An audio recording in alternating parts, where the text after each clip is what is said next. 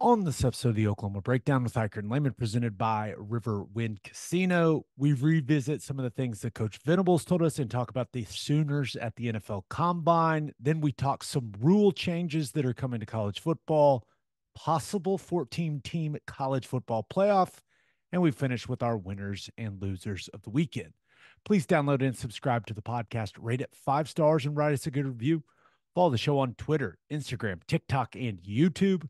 Just search Oklahoma Breakdown on any of those, and you'll find us. All right, our man Michael Hosty will kick this thing off.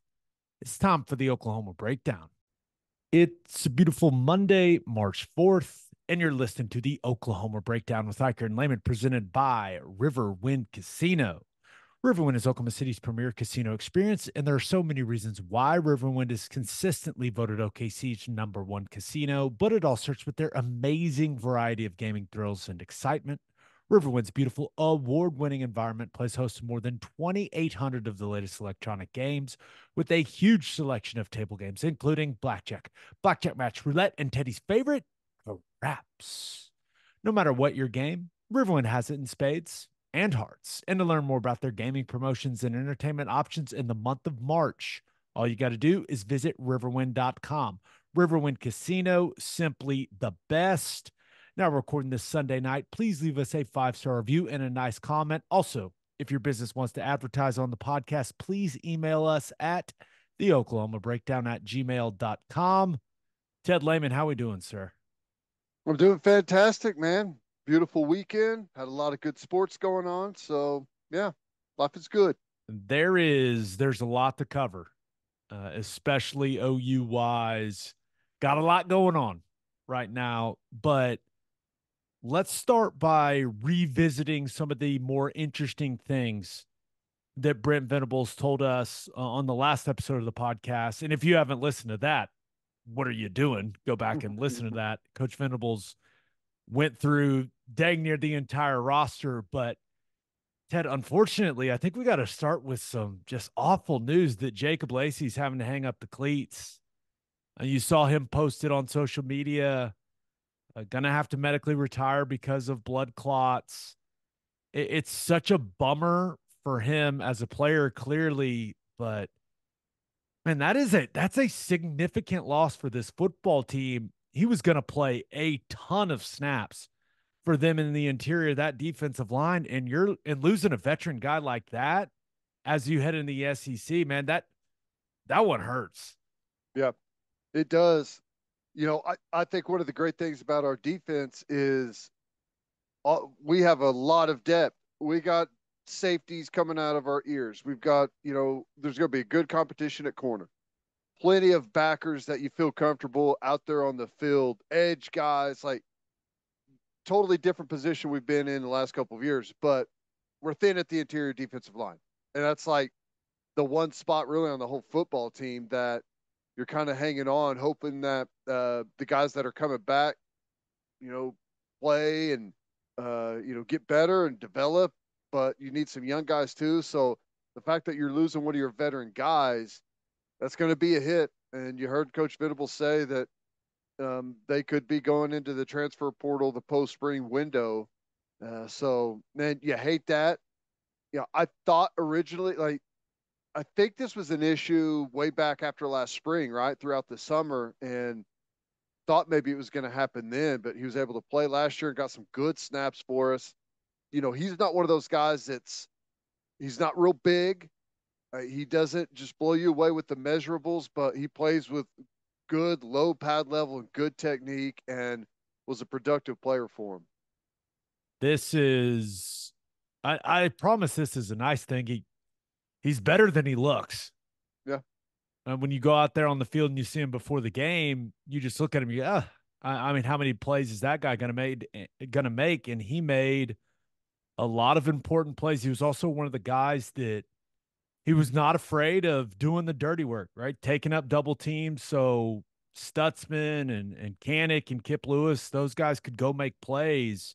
He was an unselfish guy in the interior of that defensive line. And it's a guy that they're going to miss. I, I'm with you, man. I think that as excited as they are about the young guys, right? You think about Marcus Strong and even a guy like Gracen Halton, uh, Ashton Sanders, of course, David Stone, and Jaden Jackson that are there as early enrollees. Like you can be really, really excited about all those young players, but also acknowledge that you probably want to get a guy that's been in a college football weight program and played some big time snaps. You you got to go find a guy like that in the portal, right? In the in the spring portal window.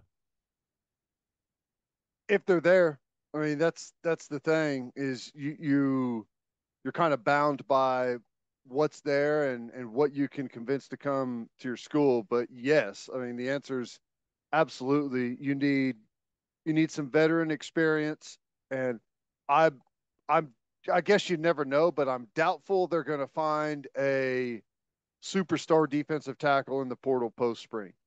But you can find capable guys, guys that have played, maybe guys that are at places that have a new staff and they're not liking the defense or they're not liking, you know, you know, their position coach, however that goes.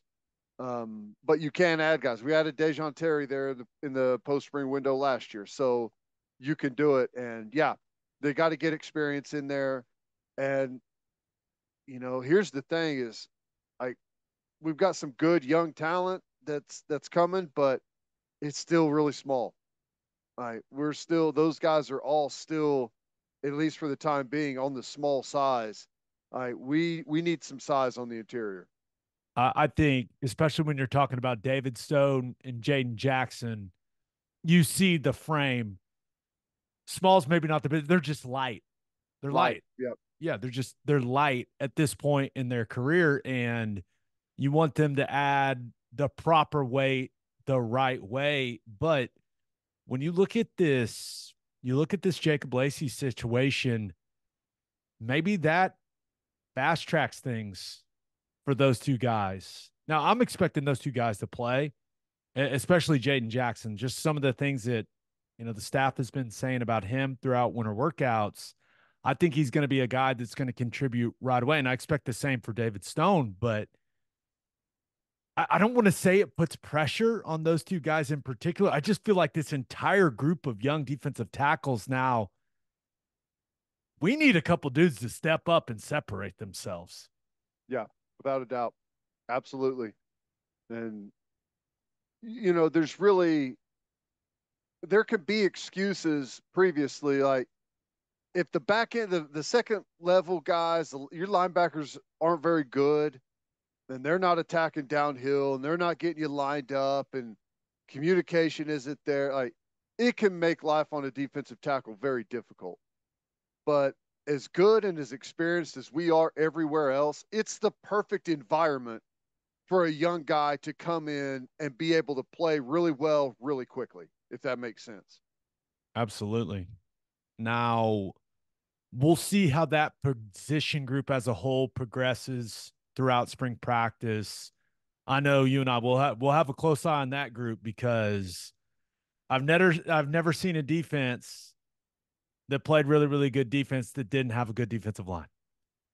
Yep. So that may be the biggest question mark going into spring ball for not only for the defense but for the entire football team. Now, one other interesting thing that BV told us, and I hated hearing it, man. Dasan McCullough has basically just had to miss winter workouts because of that knee procedure. And Ted, he's one of those guys that he needed to make strength gains. He needed to make strength gains. He's just a long limbed guy. Like he needed to make strength gains. He needed to make some gains when it comes to his explosiveness, especially in his lower body. And, and I was really hopeful that another full off season at OU, he'd be able to add some power, some explosiveness. Man, it's just really unfortunate that he wasn't able to have a, a full winter healthy. Yeah. Yeah uh, it's it's gonna stunt his growth a little bit. Um, you know, it did sound like he's gonna be ready to go in spring though.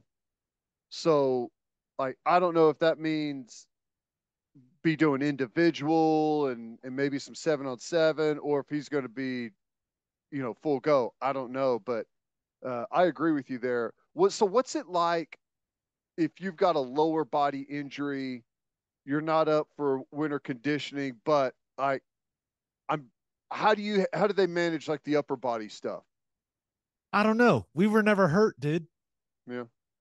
No, I, I, I figure that they still uh, he'll still be getting like the upper body stuff in. Oh, for sure. I, I would be really, really surprised if he hasn't added some size, like in his yeah. shoulders. But then again, I just, how are they going to use him?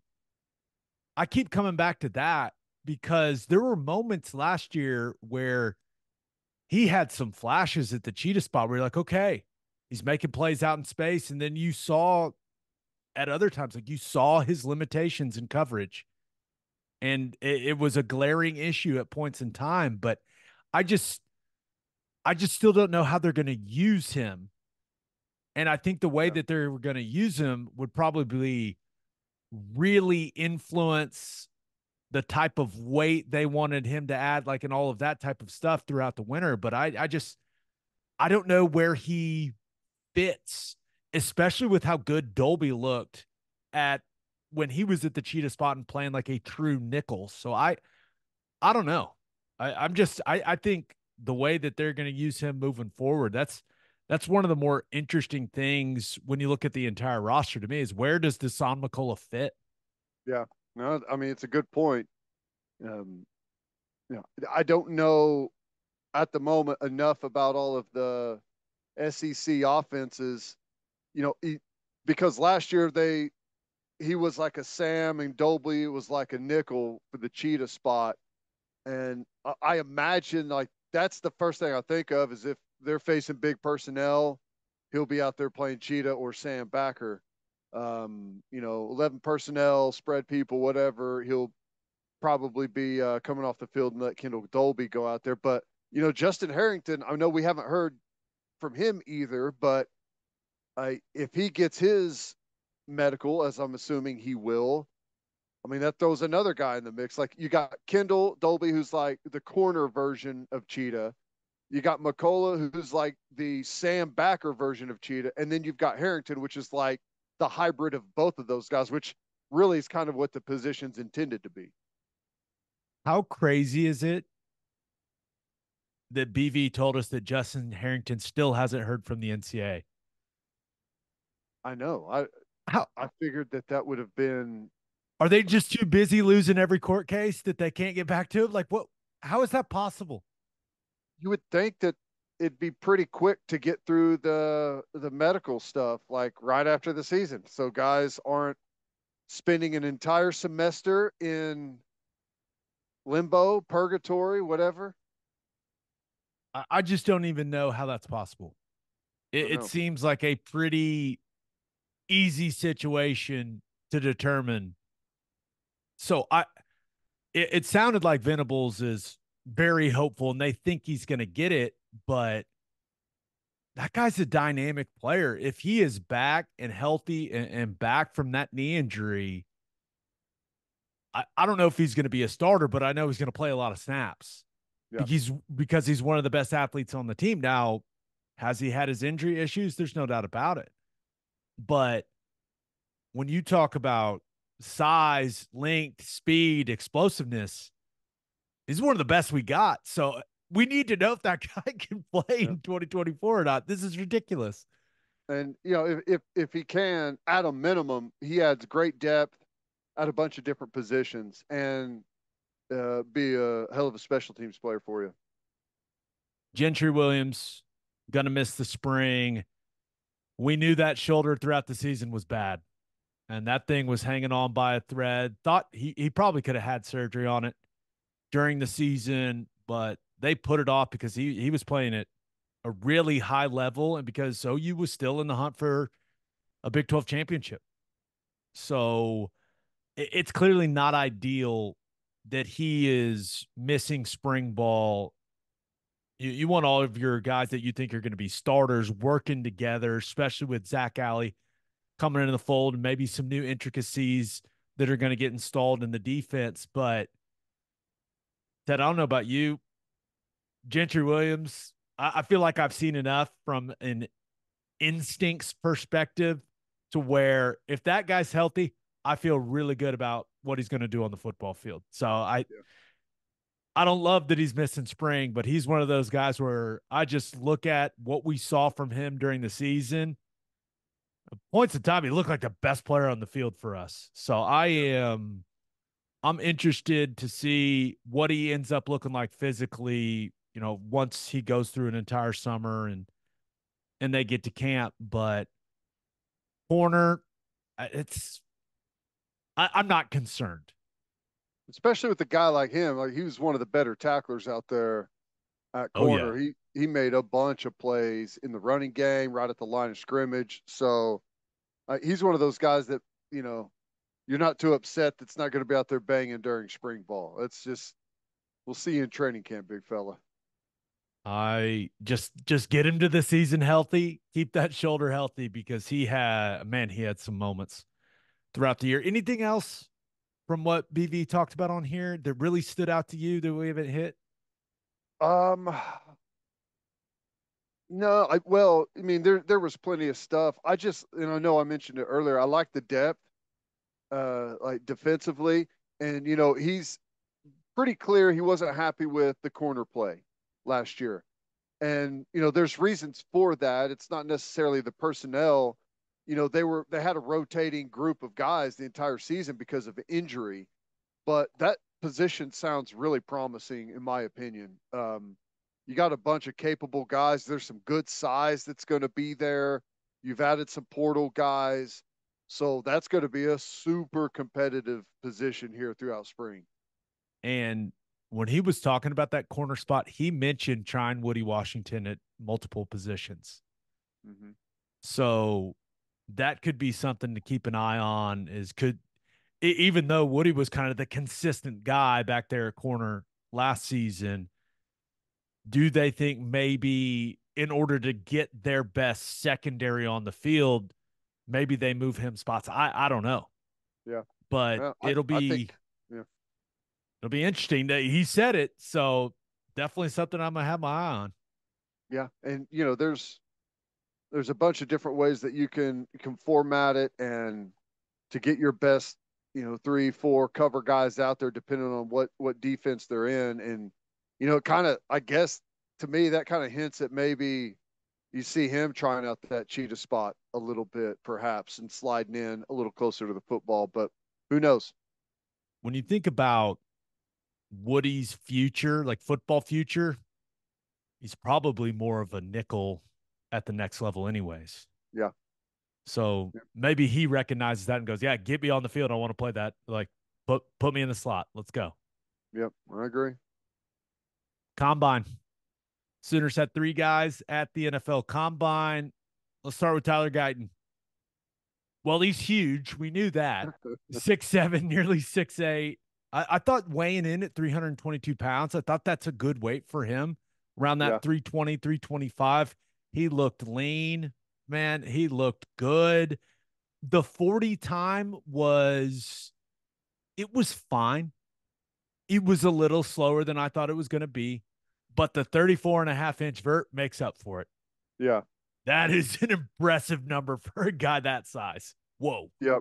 That's that's what you want to look for right there. I mean, yeah, the 40 is a good show of overall athleticism, but I, it's the least thing that's going to carry over to the position that he's playing. Um, explosiveness, uh, like in the vertical, that's a little bit better. And yeah, that's that's moving a lot of mass a long distance straight up in the air. That's pretty impressive. And I actually thought he looked his best during the drills. He he looked athletic running the 40, but when they were doing the wave drill and you could just see how light his feet are, how fluidly he moves, how easy he makes moving at that size look.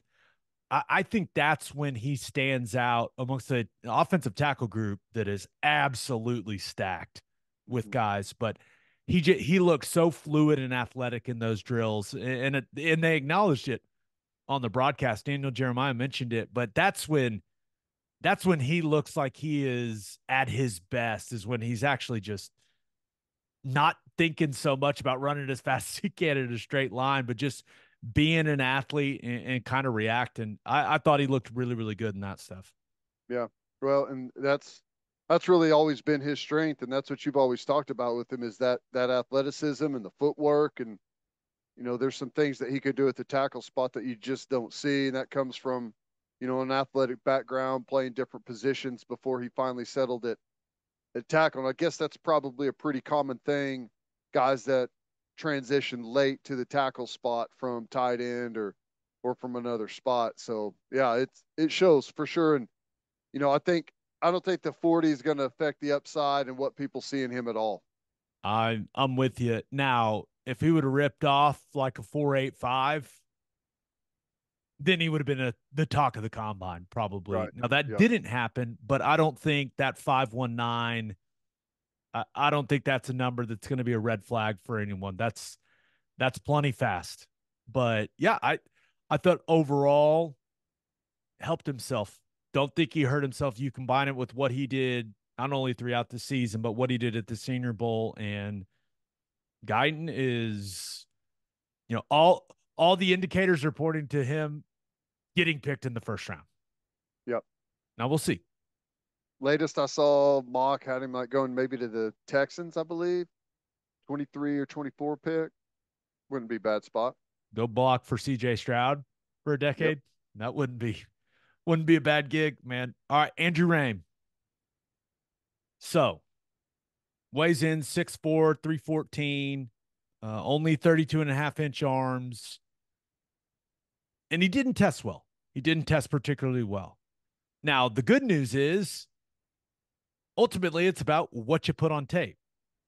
And I think Raym's got better tape than his testing indicates. But yeah, the numbers weren't good. 24 and a half inch vert, seven foot 11 broad. That's, that's a number that a lot of teams are going to look at and not like. And then he had a, had a five, four, two, 40, which I, I don't know. It just, he, he never, you know that that is not a good time. I, but I never thought that he played slow. Yeah. So it was kind of a head scratcher for me. I, I knew that he wasn't going to test particularly well, but I was surprised by a couple of those numbers. But in the back of my, my mind, as I was watching, I was like, well, he's a better football player than those numbers. So luckily, teams usually care more about the football piece than what you're doing in yeah. shorts and a t-shirt at the combine. Yeah, those, uh, those are almost numbers that look like maybe something was bothering him a little bit. Um, but that's a good point. It could be. It. You never know. know. And so, three fourteen for weight is. I feel like he was quite a bit lighter than that. Am I wrong? Am I just? I think he was always in that okay three ten to three fifteen. Uh, I was wondering if maybe on... he just was was focused on putting some some weight on or something that hurt his testing numbers, but I don't know. Yeah, not probably not the performance he was looking for, but hey, this is the best news. And maybe he ends up redoing it at OU's Pro Day on March 12th. Yeah. I, I don't know. But it also could be one of those situations where it's like, hey, I'm not very good at this part of it. I've got it out of the way. Now let's let's talk some football. Get me yep. get me on the uh get me on the whiteboard. Let's talk about some protections. And I never want to run a 40 ever again. Probably won't have to. That's the good thing. Yeah. Walter Rouse didn't do any of the testing stuff. I, I couldn't find anything as to why he didn't, but he looked good in the drills. He looked he looked as in shape as I've seen him. Uh, was almost six six, measured in at six five and three fourths. 313 pounds, got 35 and an eighth inch arm, which is a really good measurement for him. Didn't run the 40. I couldn't find anything else about it. All I could find was him going through some of the pass protection drills. Looked good doing that, punching the bag. But hey, what you see is what you get, right? He's like the perfect size and length for tackle. He's got a ton of a uh, ton of experience not going to blow your doors off with with anything, but he's going to be a solid do your job type of guy. And uh, there's a place for that in the NFL. So I, I don't think he's really got anything to worry about. I don't know that he's going to be, uh, you know, going super high in the draft, but he's going to get an opportunity to make a, a team somewhere for sure. Yeah. And just going back and thinking about what I saw from him at Stanford and then what we saw from him this year at OU, I, I think he got better. Mm-hmm. I think he became a better football player, which is why he came to play for Bedenbaugh and to play at Oklahoma. But the one thing I did keep seeing is everyone loves talking to the guy. I mean, he he had some great interview answers. His presence on the podium was really, really good. And that that's not the most important thing, but it doesn't not matter. Right. Yeah. I mean, that stuff, that stuff, it can it can get you noticed. And I think that everyone acknowledges how impressive of a guy he is, along with being a really good football player. It's a cattle market. We know that if you leave an impression on somebody, like there's a lot of guys that are, let's say it, about the same. And if you leave an impression on a couple of people because uh, you're smart, you got a quick wit, you're easy to talk to, uh, you're funny. Uh, if you make an impression on people that way, they remember you. You get some positive marks. They circle back to that name and in their meetings and say, "Hey, I like this guy." It's there's nothing bad about that. It is a really actually a good skill to have. No doubt. All right, let's get to caller shot. We asked you guys the most important thing that happened for OU football this weekend. This one comes from Nick Galona.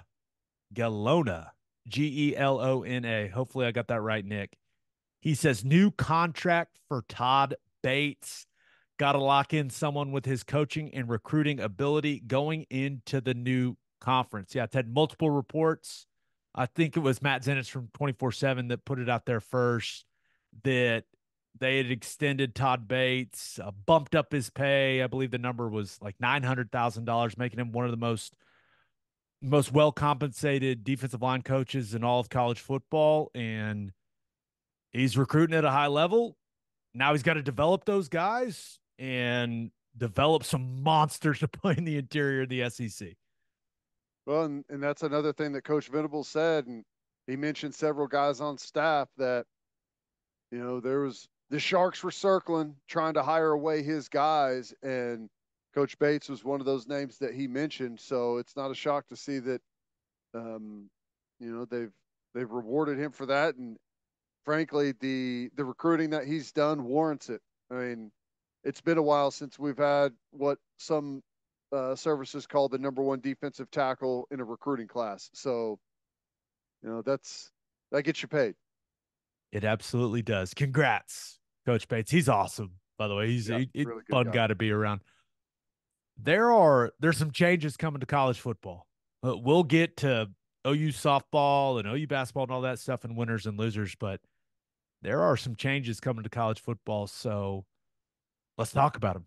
But first, Love's Travel Stops is now offering a nationwide 10 cent per gallon discount on gas and auto diesel. Just download the Loves Connect app and scan your barcode at the prompt on screen and watch that price drop 10 cents per gallon. Across the country, the Loves Connect app unlocks exclusive deals can help any traveler plan their route or meal on the highway. So before you hit the road, be sure to download the Loves Connect app to save 10 cents per gallon and experience the country's best highway hospitality at Love's Travel Stops. Love's also says you covered if you forget your phone charger or headphones with their expanded mobile to go zone. And of course, don't forget to grab yourself some of that delicious Java.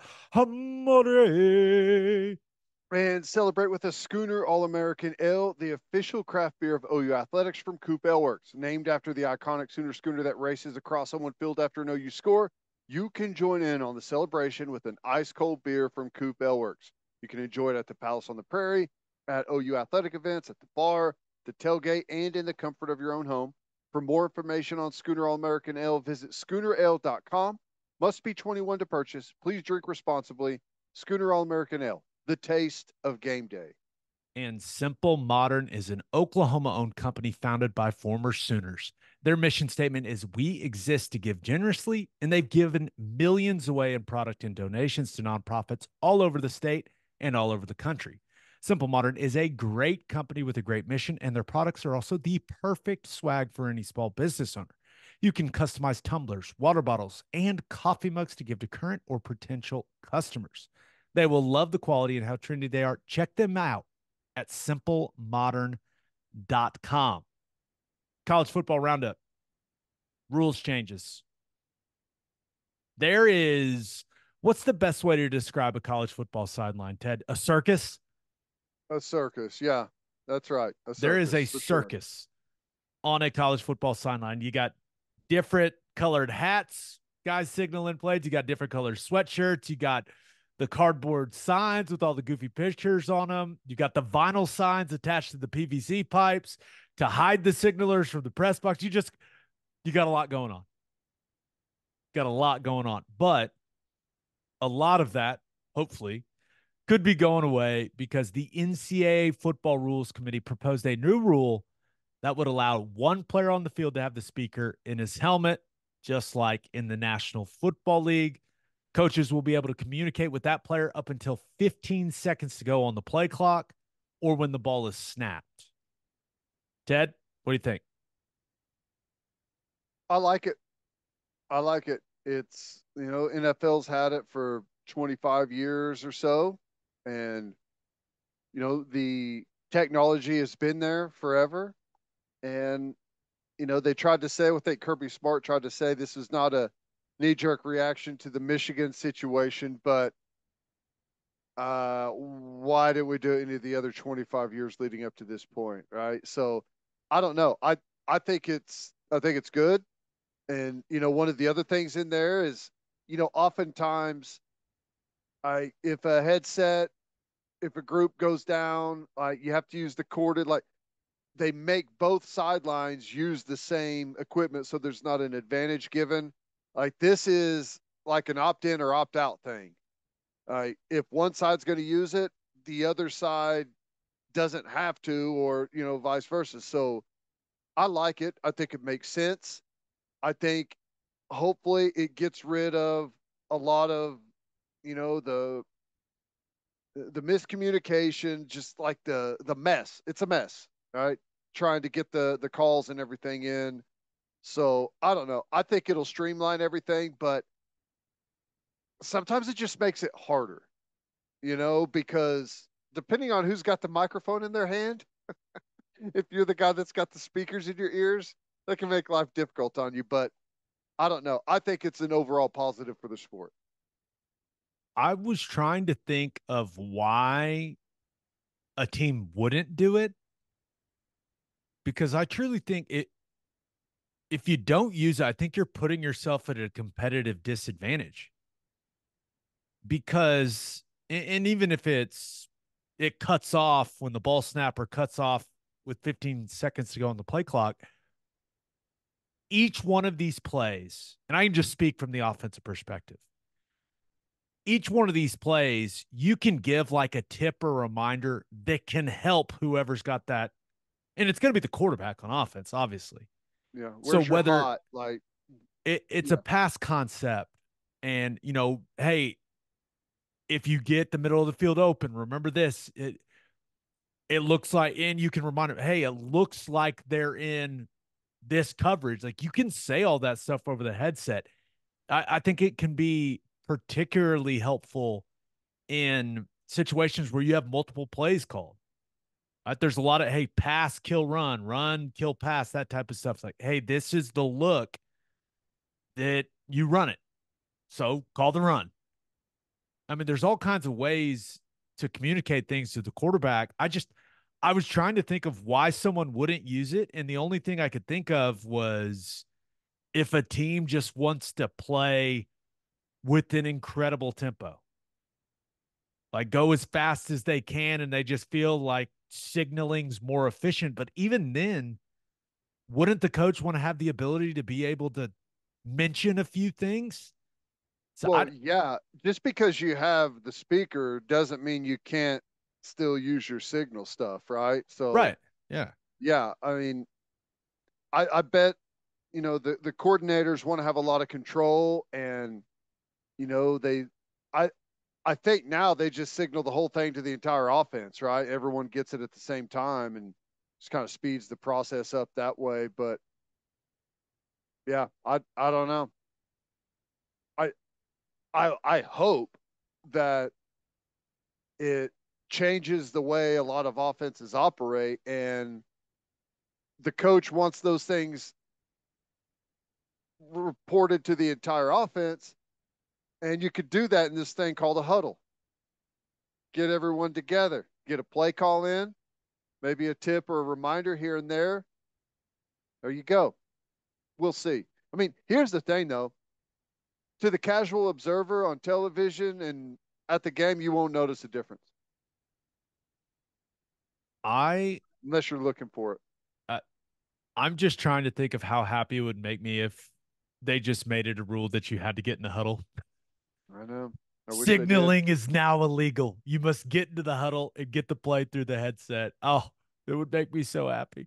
But yeah, I guess in a in a perfect world, you're able to communicate that stuff. You still have some of your assistants signaling to whether it's route concepts to wide receivers or coverages to the defensive backs. But yeah, I'm I'm really interested in seeing what teams can become really, really efficient with this and what teams do it at the highest level because I do think that having that line of communication between a coach and a player on the field, I, I think it can be extremely valuable. I do too. I do too. I, I think it's good. I think, um, I mean, it should go off without a hitch, and hopefully, everyone is saying, "Why didn't we do this 20 years ago?" I, I'm with you. I'm hope that's what we're saying. I hope we're not saying, "Oh my gosh, the speakers." One one guy's speaker caught on fire, just like something catastrophic like that. It's like that's what I'm saying. Like most people, you won't even notice like unless you're like looking for it like in the first game whenever it's like a new thing and people are talking about it you'll notice it but after that it'll look like all the other football you've ever seen well the only other the only thing you're going to notice is quarterbacks on the road covering their ear holes yeah that's yeah. what wait what's that quarterback you don't see college quarterbacks do that well they're going to start because the coach is going to be talking to them in their helmet yeah or it's like please stop Stop. You're yelling. Please stop. Couple other rule changes that appear to be coming. Two minute warning in the second quarter and in the fourth quarter. Gotta love another built in commercial break, Ted. Come on, baby. What do you think? I we're used to it with the NFL. What one thing I do hope is if the networks now know they have this built in commercial break, for the love of God, can we please reduce some of the okay, the team scored, we go to a TV timeout, the ball gets kicked off, we go to another TV timeout. If we can reduce that sequence by adding a 2-minute warning, I'm all for it, man, because that that drives me insane. Supposedly that's what this rule is going to do. Because it gives you the built-in we know when it's going to happen TV timeout, right? It's built in. So you don't have to do the double up thing everywhere and and I that's what's going to happen. But we know that eventually they're going to add another they're going to add more commercials somehow somewhere. But here's the thing, it's just yet again it's another rule that makes it easier to score for the offense. You now have another built-in timeout in the most crucial moments of the game, before the half and at the end of the game. So not only do you get the clock to stop after every first down, right, in the final, you also get the two minute timeout. So congratulations, offense. You win again. Should we talk about RPOs?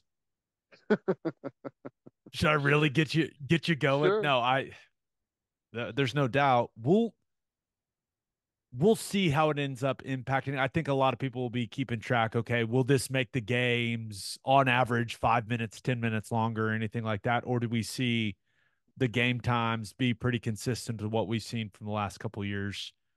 we'll see. But the the only other thing that I saw from a rule change perspective is teams getting to have a bunch of tablets available to the players and the coaches uh, on the sideline and in the booth where they can watch game video.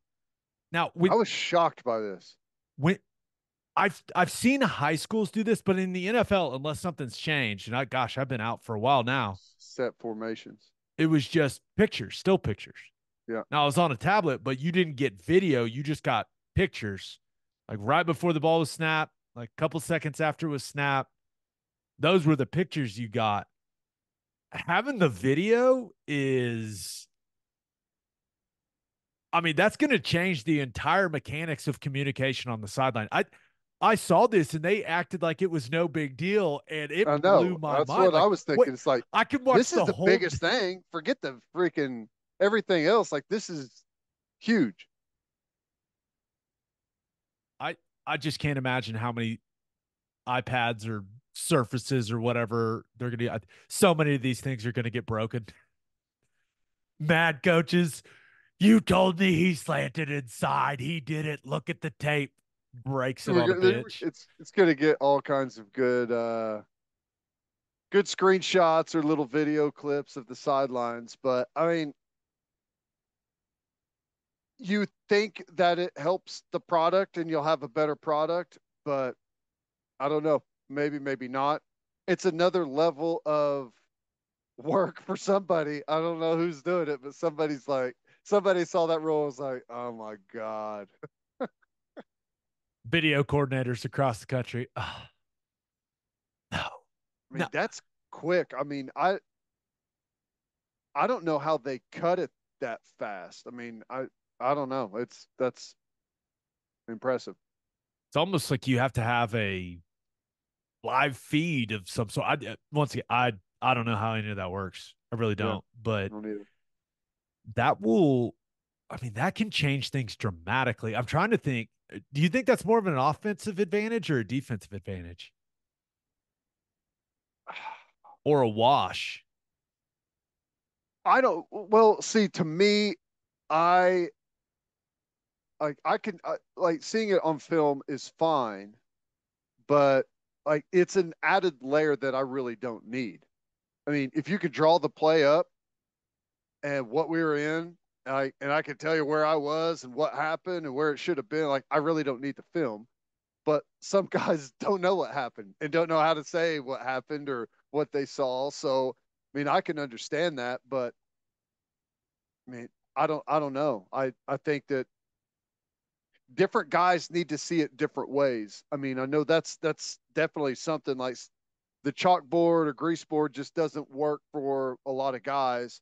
So to be able to see it visually will probably help. I mean, I would say I think defense to be able to react to like how they're blocking something a little bit differently quicker because it's hard like if you're if you're a defensive tackle and they're doubling you and like there's a lot of stuff going on like maybe you're not exactly sure like how it's I, I don't know i think i would say defensively but i'm not exactly sure yeah i it's hard to tell. I I don't know, but yeah, these are these things are going to significantly impact the game. So I am, especially I think the iPad one or tablet or whatever they want to call it, being able to watch the film. That's maybe it'll just be too much, where it's just system overload, and you see guys on the sideline going for, "Can we please stop watching this?" I, I don't know. what I think it is. I I mean there there is something to I mean, a game is what? And I'm talking about for a football player. I know it's 60 minutes and I know like three and a half hours, but for a football player, like the preparation and the mental lock in and focus has started hours before the game. And you are totally locked in the entire time. Like there needs to be a little bit of a lock in and and release with the, throughout a game like give me the things i need to work on and like what our mistakes were but i don't need to visually see all 15 snaps that just took place like i don't need that like i need some space in my mind to be able to actually go out there and play the football game, you know? Will this lead to players throughout college football losing their minds? I don't I don't know, but it's I I'm interested in what guys are going to think. I, I I've never done that. So uh, I'm interested to hear coaches and players talk about it once once they start using it on game day. So I know there's a lot of times I wanted to walk over the sideline and know what the hell just happened. Yes. Right? What was that? Yeah. So that will be nice for sure. Yeah, for sure. But in moderation, I don't know. It's going to be interesting. All right, let's finish up with our winners and losers of the weekend. But first, all you grill masters, listen up. Didier Ranch delivers premium quality beef that is 100% raised in Oklahoma right to your front door. Go to didierranch.com, D I D I E R ranch.com to order one of their premium quality beef boxes and use promo code Oklahoma15 for 15% off your order. Filet, ribeye, New York strip, sirloin, steak burgers. They've got it all and they ship anywhere in the continental U.S. and Oklahomans can get deliveries in just one to two days. The only thing better than having a lot of premium beef on the O and D line is having premium beef delivered right to your front door. Didier Ranch, tradition tastes better. And head to the garage for hand smashed patties, butter toasted buns, and some ice cold beer.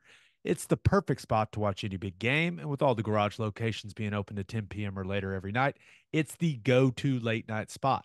Visit eatatthegarage.com to find a location near you and order online from the garage in your neighborhood. As always, Ted, kick us off. Who do you have as your winner of the weekend?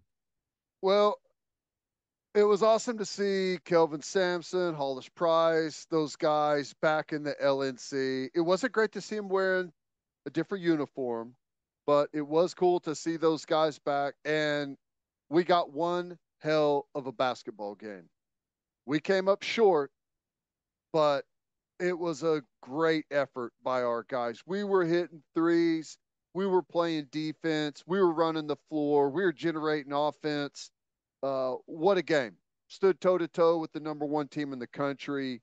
And just came up a little bit short on a really, really nice last second quick shot by Houston to get the win.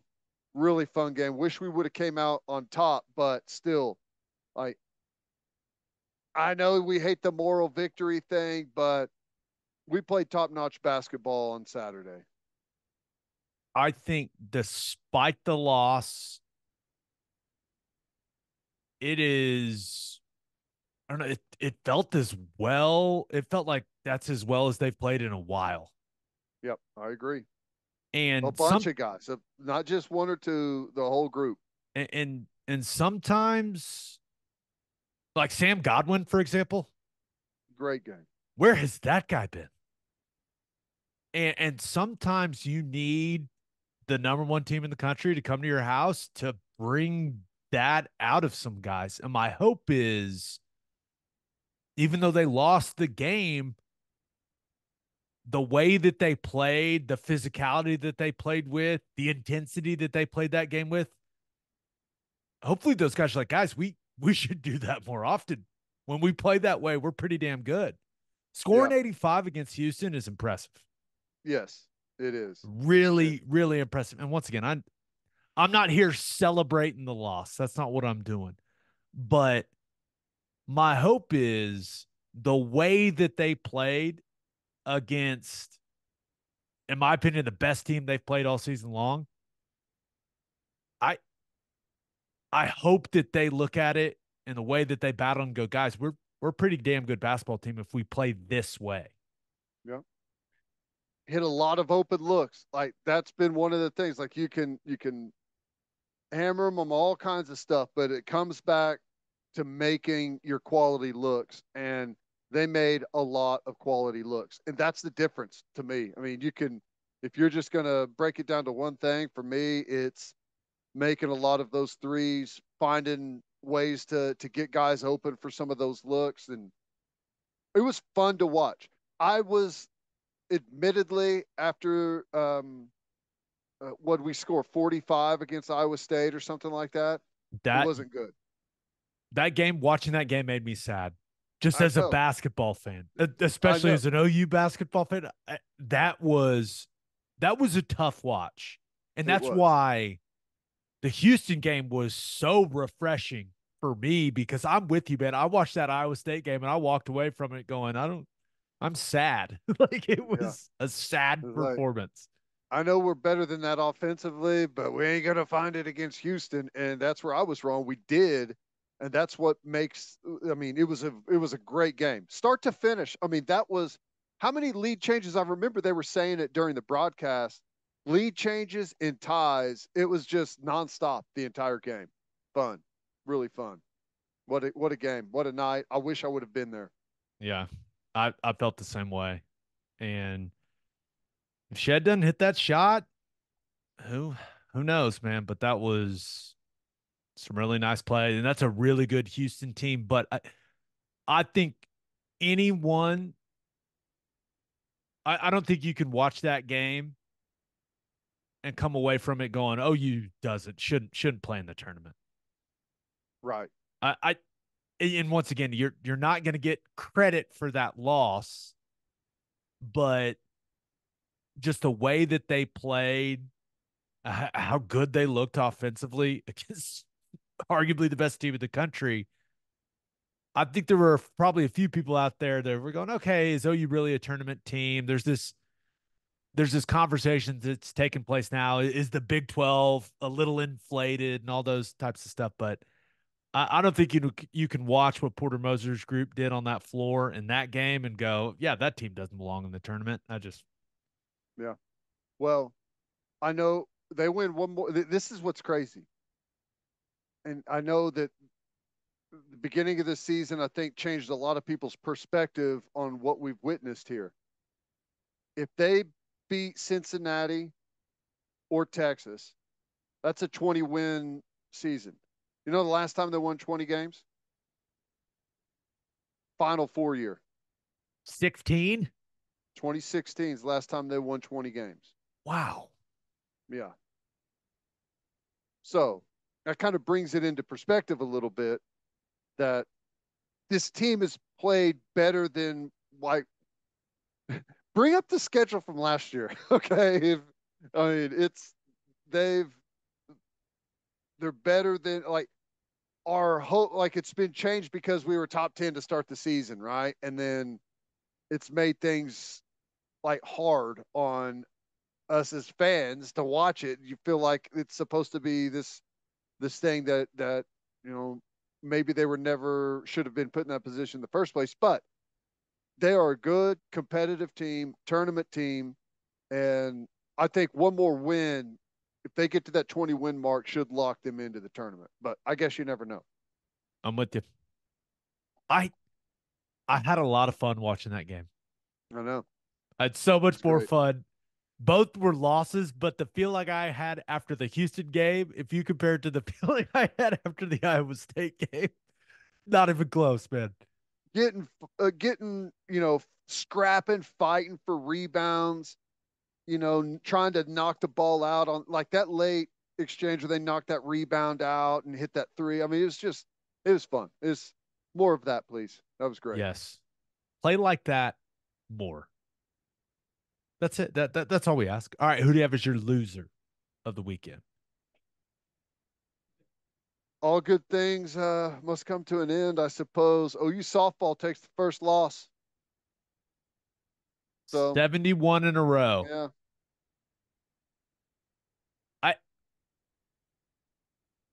I don't think it's a bad thing that that streak is over. agree. Would I prefer it not happen against Louisiana? Probably, but I also don't know much about Louisiana softball program. All I know I'd is that pitcher. to Louisiana than Texas or Oklahoma State. That's a great point. but what what was her name? Ria Seto, the pitcher for them. My goodness, what a performance! Yeah, she she was nails. Um, didn't back down all the way through extras, everything. And they had a hard time. I mean, typically when OU goes through the lineup the second time, and then if the third time, if they're seeing the same pitcher, it's usually like you're about to see some fireworks. So I don't know exactly what she was doing, but they were having a hard time really zeroing in on it. Yeah. Did Patty Gasso handled it extremely well. I was watching her her post game press conference, but it is one of those things where if they're going to lose one, I like them losing early. Kind of refocus everything.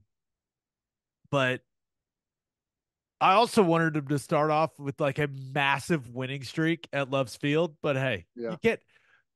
Sometimes it doesn't go that way. It is what it is. My God, does that stadium look awesome though? Like the overhead yeah. shots, that was that was awesome. That was cool. And you know, here's the thing though, and I will let others that know more about it really speak to it, but and it's really early. I'm just I'm wondering if there's and here we are like the streak is over and we're worried about the the flaws in the team. But you know, they offensively or I guess pitching wise, they've been giving up quite a few runs. So like I don't know if there's if there's like a legit thing to be concerned about there or not. I just I don't know. Yeah. I will say that first game, the opener, Nicole May steps into the circle and it what they scored three runs right off the bat. I was like, wait, what's going on here? but yeah, I was like I I I was worried they're gonna lose the opener. Uh, it was Kindy, Kinzie Hansen hit the the walk off, right? Is that was that the opener? I they all run. They play so many games, man. They all run together now. I think she I think she hit a walk off in the opener to to to you know snatch the win there. You're but, right. That was the yeah. That was the. But hey, nothing wrong with a little excitement in our lives. Blowing everyone out is boring. People, come on. I totally agree, and um, Erin Miller was on the uh, the broadcast on ESPN Plus, and she's like, "I think there's going to be a rough week of practice for these girls because they just weren't clean. I mean, they weren't as clean as we're used to seeing them. So uh, that can uh, that can go a long way. Learn getting used it. to the new field, you know, getting used to the the new surroundings. It'll be fine. I'm not worried about it. Not worried about it. But yeah, it was. I I did not see that one coming thought they were going to steamroll them, but hey, yep. they'll end up being better for it, Ted. That's the hope.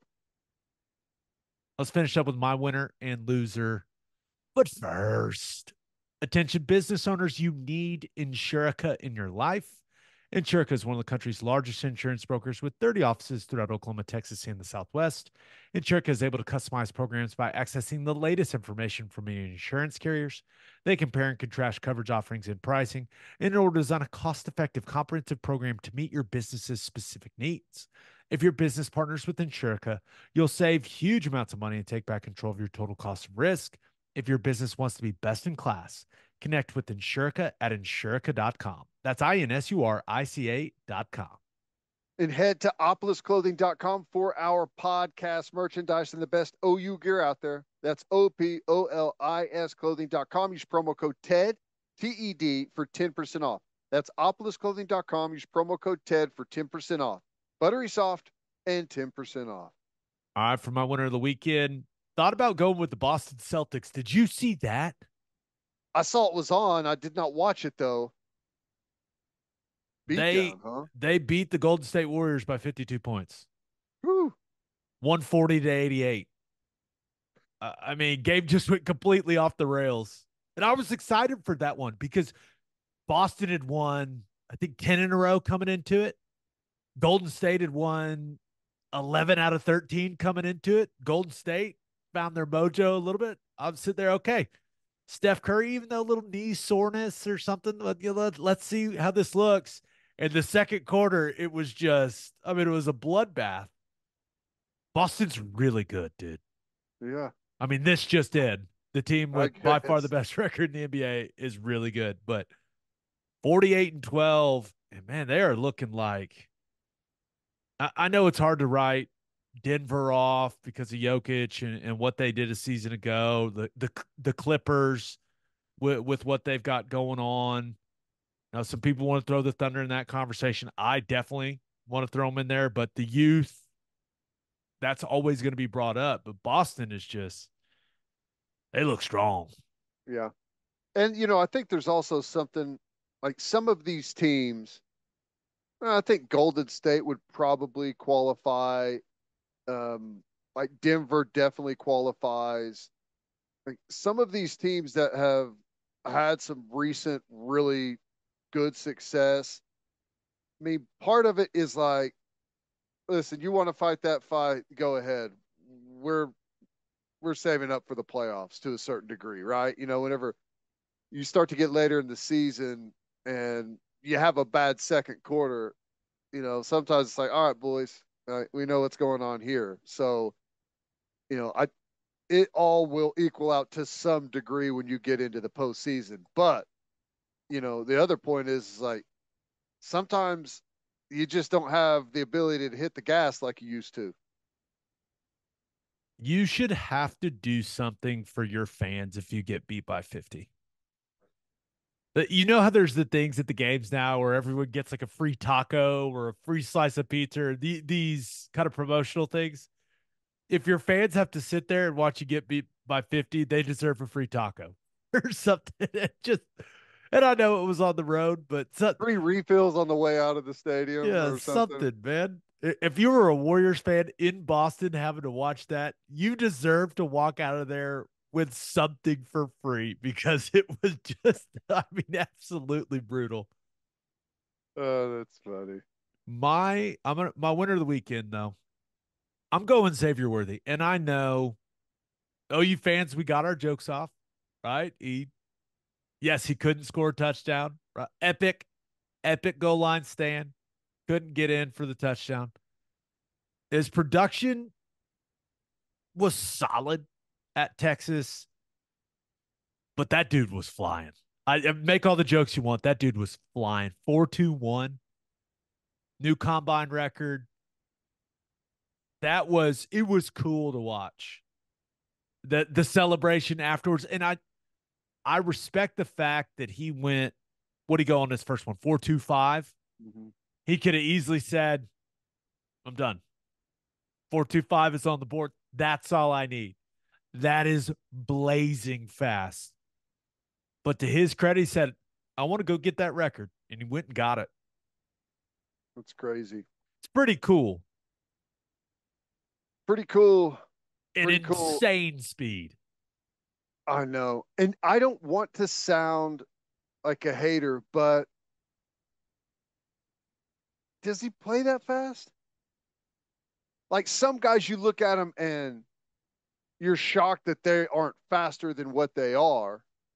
Like, and I'm in no means am I am I saying that he's slow, but the I never would have guessed that. Like, if you would just ask me, and I don't know, I never would have guessed that that is, that guy's capable of the combine record. You, if you would have asked me, hey, what do you think he's going to run? I would have said four three seven. Right. Yeah, that's kind of, that's that's basically what I'm saying. I, I've never seen a play from him where I was just like, "Oh my god!" Well, like he, that guy's clearly the fastest guy on. A couple couple years ago, when he took the first pass of the game, seventy five yards right down the sideline, he looked pretty yeah, fast. He did. Did you see Deshaun White's tweet?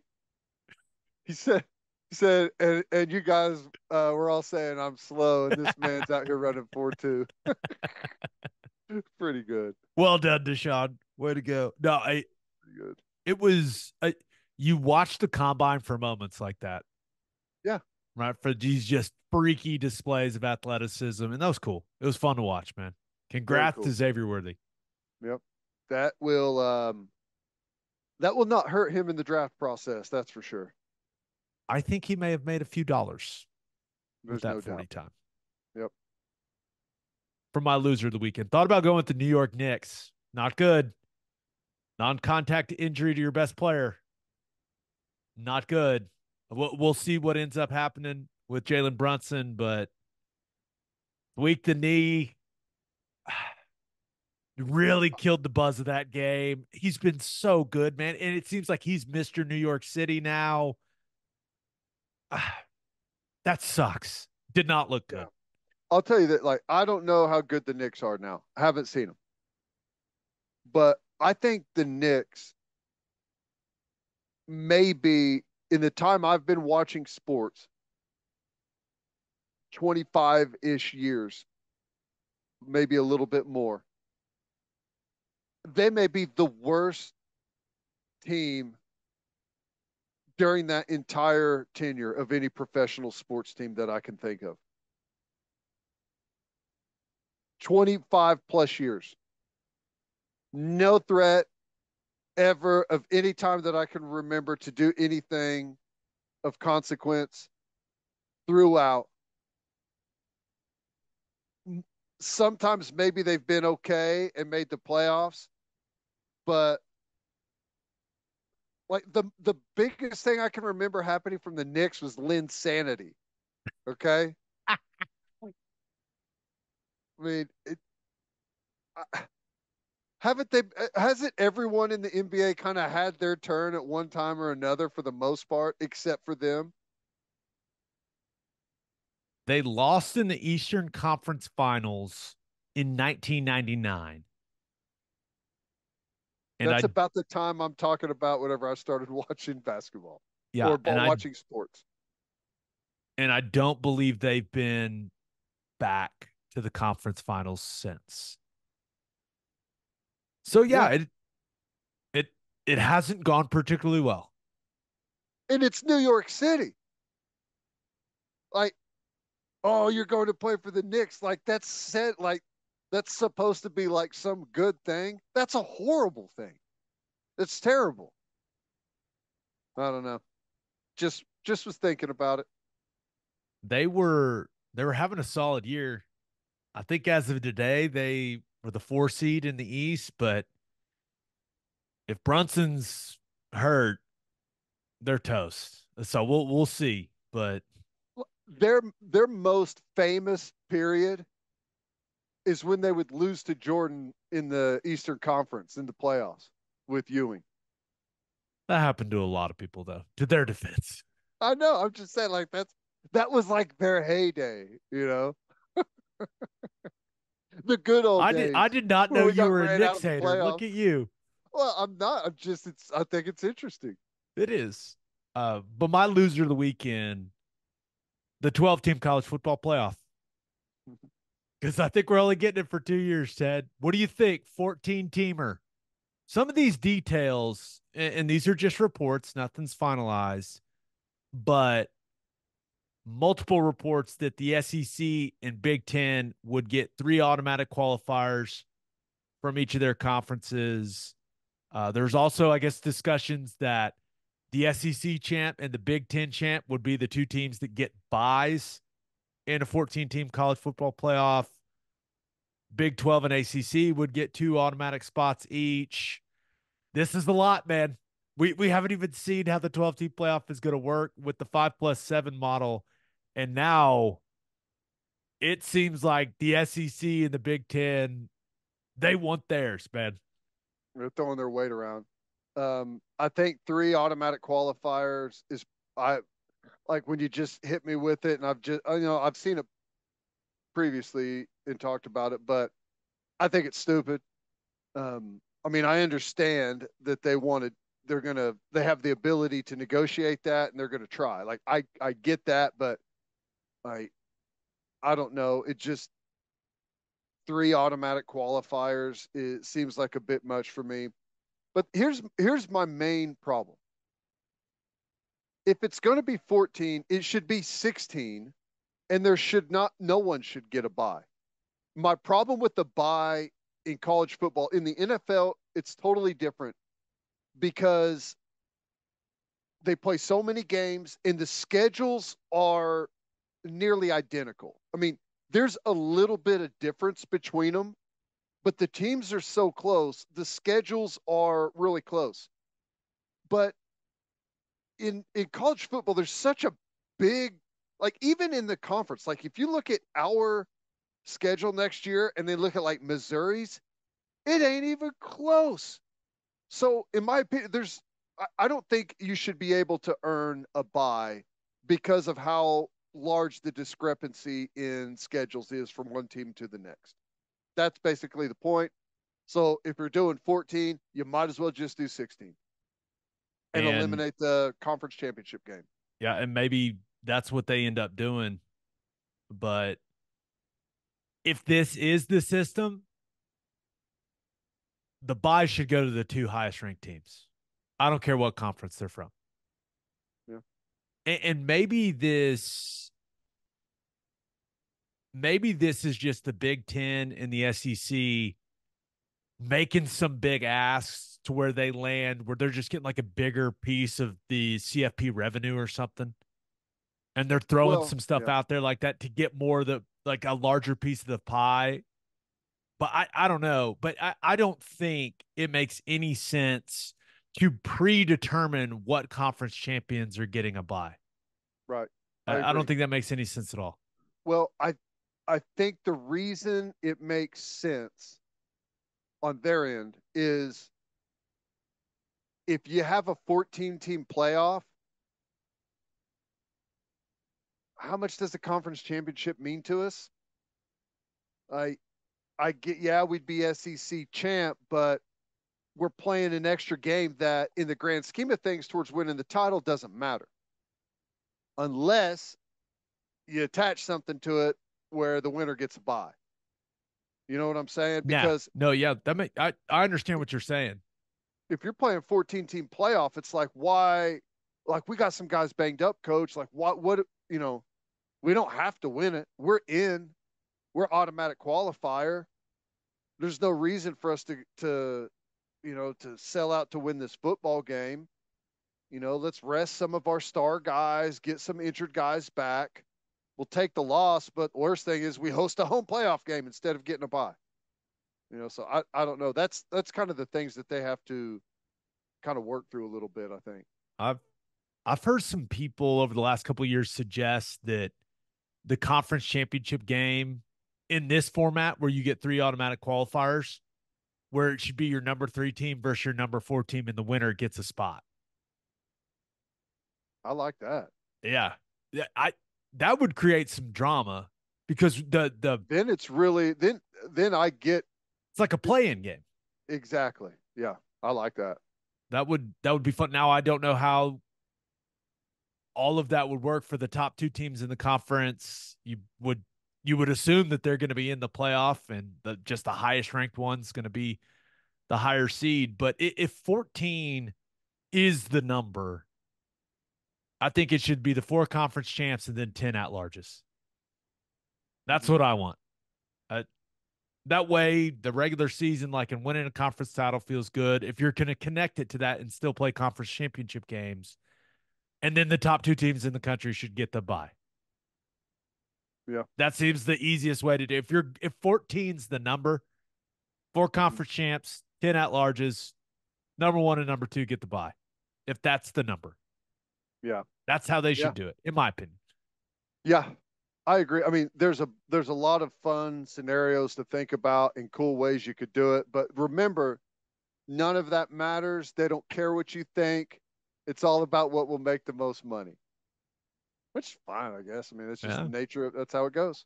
I we're gonna watch and talk about it. That's what I know. No matter how many they could throw us a 32 team playoff. Hey, I I am thrilled with the 12 team playoff. I will be even more thrilled. Like the better thing about the 14 is you only have two bye teams and you get a bigger round of home playoff games. And I don't I and maybe maybe I'm uh, not as much in the majority as I think, but to me the coolest thing about the playoff is the home playoff games. Like that that is like the coolest thing about these playoffs to me. And if you get more of that, sign me up. I'm with you. Birthday shout outs. Happy 11th birthday to Jeremiah Boswick. Happy 16th birthday to Noah Goodnight. And happy 44th birthday to Kurt Lehman. Um, look, it must be a hell of a guy there. What a last name. Weird spelling. What a weird last name. On that note, episode 401 in the books. We'll have a new podcast that'll drop on Wednesday. Just a reminder please subscribe to the podcast wherever you listen to podcasts and please subscribe to our YouTube channel. Hope you all have a great start to your week. And until next time, we appreciate you all for listening. Do what you always do, Oklahoma. Take care of each other.